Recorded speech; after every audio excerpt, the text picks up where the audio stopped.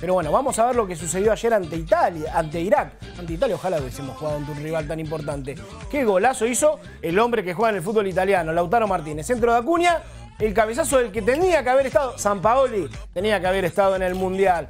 Muy bien, Roberto Pereira en esa definición del tucumano para poner el 2 a 0. Ya estábamos en la segunda mitad.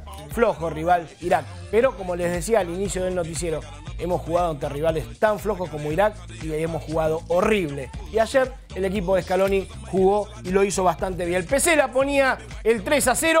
Pesela va a ser titular seguramente ante Brasil haciendo dupla central con Otamendi. El golazo de Servi para poner el 4 a 0 definitivo. Les decía, Pesela con Otamendi serían los centrales. Ante Brasil, Romero va a ser el arquero. Sarabia va a estar por el lateral derecho. El capitán Tagliafico lo hará por la izquierda. Va a estar Paredes. Va a estar Bataglia, Rodrigo Bataglia nuevamente, va a estar Lo Chelso, sí, eh, el gran jugador, el ex hombre de Rosario Central. Dybala, Icardi y arriba, Angelito Correa o jugará la dupla del Inter, Icardi y Lautaro Martínez. Bueno, eso lo decidirá el técnico Lionel Scaloni. Ahora volvemos a lo que sucedía ayer en Riyadh y escuchamos la palabra de los jugadores, de los protagonistas.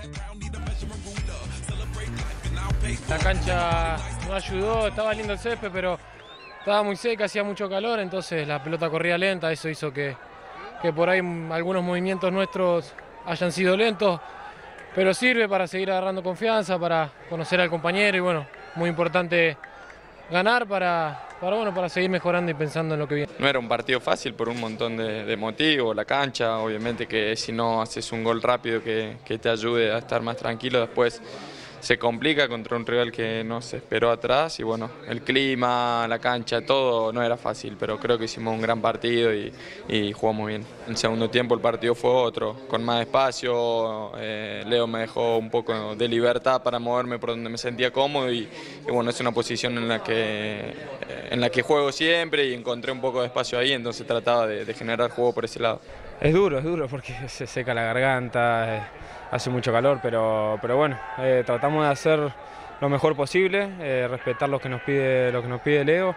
Creo que por momento lo hicimos y por otro momento, eh, como te decía, se dificultaba un poco más la plata. Muchos de los que estamos acá somos nuevos y nosotros peleamos día a día para, para poder seguir estando. Como decía, un partido con Brasil es muy importante, aunque sea un amistoso. Es cierto que es el inicio de un nuevo proceso, pero pero trataremos de al que le toque hacerlo lo mejor posible y sobre todo eh, querer ganar porque es lo más importante. Estamos todos formando un grupo, un lindo grupo, eh, el hecho de que todos podamos jugar y tener la posibilidad de, bueno, de jugar y de hacer goles eh, es importante para, para, el grupo, para la selección. nada, es importante ahora seguir y creo que se viene un gran partido para, para, para, para ver cómo estamos. Irak no, no, es un equipo como Brasil, pero, pero sirve, sirve para la confianza, para llegar, para llegar mejor anímicamente al partido contra Brasil.